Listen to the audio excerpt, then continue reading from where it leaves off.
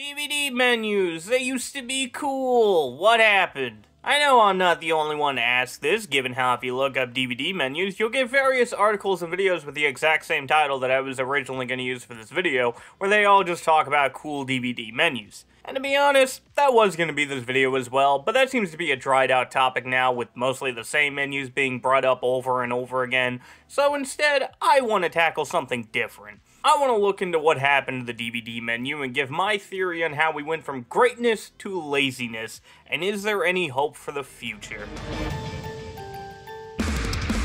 Hello, Internet! Welcome to Film Theory! Let's start with some history. In 1975, Sony released the first ever home video format, Betamax, allowing audiences to be able to watch their favorite movies in the comfort of their own home by the means of tape cassettes. The following year, however, Victor Company of Japan, aka JVC, released the VHS, which quickly became the rival to the Betamax, causing a short-lived format war because VHS easily topped over Betamax and reigned supreme as the best version of home media, but at the cost of not so great quality, can be easily damaged, and you have to rewind the movie to the very beginning every time you were finished. Because technology wasn't advanced enough, and this was basically a movie projector in a small box, it can't rewind itself. Three years later, in 1978, Philips and MCA released the MCA DiscoVision, a brand new format using optical video recording and reflective discs. In 1980, Pioneer Electronics bought majority stake and renamed the format Laserdisc, with it releasing in Japan the following year. Unfortunately, the Laserdisc was pretty much only popular over there, with the US and Europe not really caring about the movie equivalent of a vinyl record, mostly because the players were really expensive at the time and there was no way of recording like you could with a VHS tape. Nonetheless, it was an improvement in audio and video quality, but it still shared the same technology format as VHS, being analog. The Laserdisc was more digital than VHS, but not fully, still having to use analog signals, which is the reason why there are no menus for these things. I mean, think about it. How could you possibly make a menu for a thing that's basically made out of tape?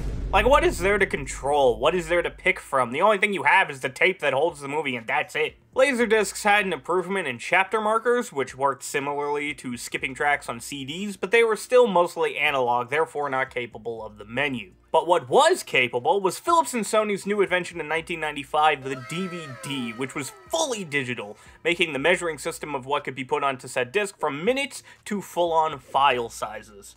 That may not sound important, but to me it does, because instead of only being able to put either 30 or 60 minutes on either side, depending on what type of disc you're using, the minutes don't matter as long as it's smaller than 4 or 9 gigabytes, which can be a lot of minutes. Compress the fuck out of logistics, you can put that shit on a DVD. And because of this newfound file size, menus are now capable of being made. There's no worry of taking up time, and the technology is advanced enough that you're able to control what's happening on the disc just by pressing buttons on your TV remote, something that's impossible to do with analog technology. Now, the reason as to why DVD menus were even made, I'm not entirely sure of. I've tried looking for said reason, but all I'm really able to find is aforementioned articles of nostalgia or tutorials on how to make them.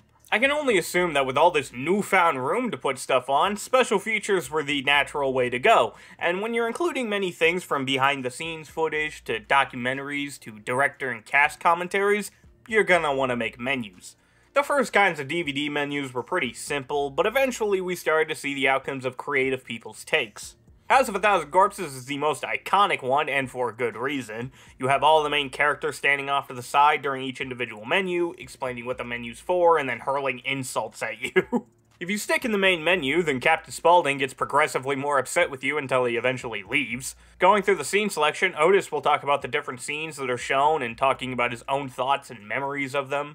It is everything that I love about a DVD menu, something that brings you into the world of the movie you're about to watch. I've never seen House of a Thousand Corpses, but just by going through the menu, I can understand a fair bit of who these characters are and what this world that Rob Zombie built is like. And that's also a major selling point through word of mouth. I was only one year old when the movie's DVD released, but I can imagine people seeing the DVD for the first time and then telling their friend about it, which then makes their friend possibly go out and buy one for themselves to be able to see it, or loves it so much that they just want to own it, which makes the studio more money. Or if he even had the money, just buying DVDs to see what the menu might be like. So you would think that making a really immersive and entertaining DVD menu is something you would really want to strive to do, but Unfortunately, that costs time and money, which leads me into my first of three reasons why creative menus are now dead capitalism. Monty, Monty, Monty. Must be fun tea. In a rich man's gun. You see, Everything costs money in this hell world we live in, and that includes making menus. Somebody's gonna have to be commissioned to create the art or the animation or the videos, somebody else would have to be commissioned to edit it all together if it needs to be edited, and then of course there's the coding process, which is inevitable, there's no real way to work around that, so when the studios want to save money, it becomes much cheaper to cut out the editing process for videos and animation, and just resort to using a JPEG, or at the very best, a GIF. I look forward to the comments. So yeah, using bland photos is a much cheaper way of making it, but since everybody loves creative menus, wouldn't it make sense to continue putting in the money and effort to create some quality that people would love?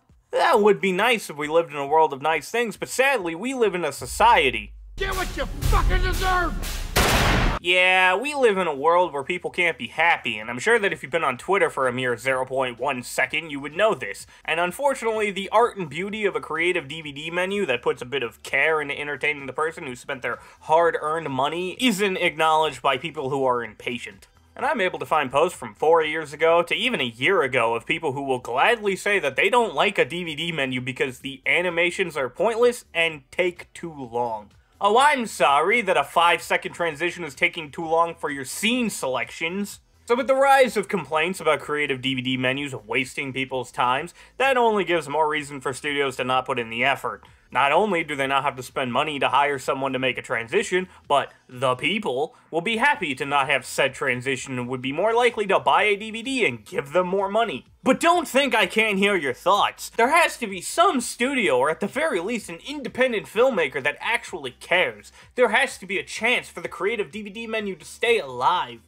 And to that I say, wake up, it's June 20th, 2006, Blu-ray is now out, and fuck! Japan is at it once again, innovating the home media releases with their new invention, the Blu-ray, which brings you higher quality than a DVD possibly could, and in return, the menus become the most laziest. Now, yes, there are some Blu-rays out there like Avengers or The Amazing Spider-Man where the animations are still there, or the scene selection has this kinda cool feature where it shows the timeline as you scroll through the chapters. Honestly, I like this a lot. I wish it was used more. But for the most part, the menus have resulted to a PNG with the bar at the bottom. And you're probably wondering, how could better video quality kill creative DVD menus? Well, in 2001, the PlayStation 3 was being created. I assure you this has a purpose. And in the process, Sony decided that in order to be the best console on the market, they would create a whole new system custom to the PS3, which basically caused any game developer to have an aneurysm trying to port their game to said console because the coding was unlike anything else, brand new, unknown, and very complicated. Hence why the PS3 sorta failed, because at least trying to port a game to the Xbox 360 isn't as much of a headache, and it only started to find its growth when Sony was able to bring on game devs to create brand new games solely for their console, meaning that they get to build everything from the ground up using the coding and technology, and not having to try to painfully port something pre-existent. Now, does anybody in the class know who created Blu-ray? I'll give you a hint, it's the company responsible for Morbius. That's so old. I don't. What else? Responsible for Venom in Spider Man 3. I don't fucking know. Oh, and also the Blu-ray came out the same year as the PS3. The PS3 was also a Blu-ray player. Blu-ray started to be worked on three years before the PS3, and the name was trademarked the same year the PS3 started being worked on. Now, this may all seem irrelevant until I tell you that allegedly, and I say allegedly because my only source is a forum post and I can't really find anything that either agrees or disagrees with it, the coding process for a Blu-ray menu is far more complicated than a DVD menu, has a lot more room for failure, and also has to be compatible for many different players. So basically, that's point number three. Sony. I'm gonna put some dirt in your eye. I don't know what was going on in the 2000s, but Sony, I guess, really liked making complicated coding processes, and that's the final nail I've been able to find for the DVD menu's coffin, because it only makes sense that Blu-ray menus would be the dawn of the creative downfall when it's just easier to slap a PNG and a bar at the bottom and call it a day, instead of making god knows how many attempts trying to make a creative menu. I don't even want to begin to imagine the hell it would possibly be to create the House of a Thousand Corpses menu on Blu-ray from the ground up.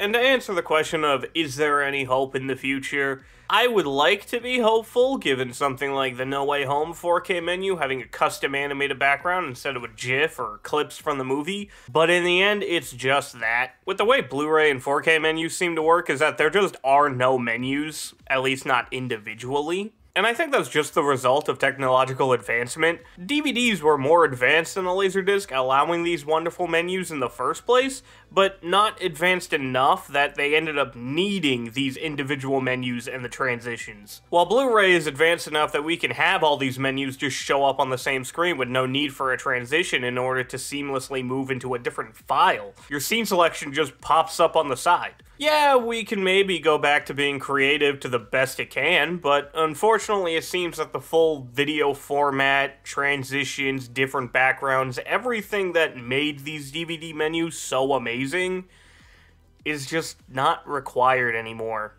And therefore, no use in keeping them around. But maybe I'll be proven wrong and the next generation of movie and player formats will bring back the creative menus.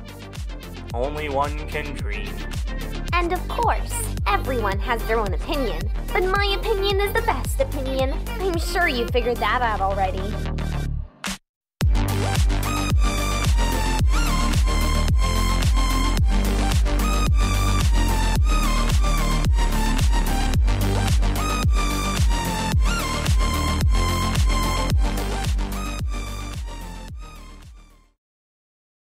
Could I have please?